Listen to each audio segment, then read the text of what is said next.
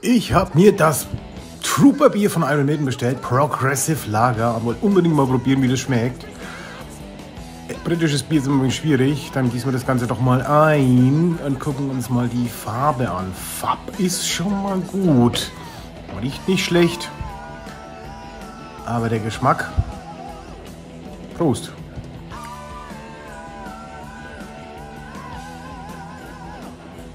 Ja, für ein Lager echt gut.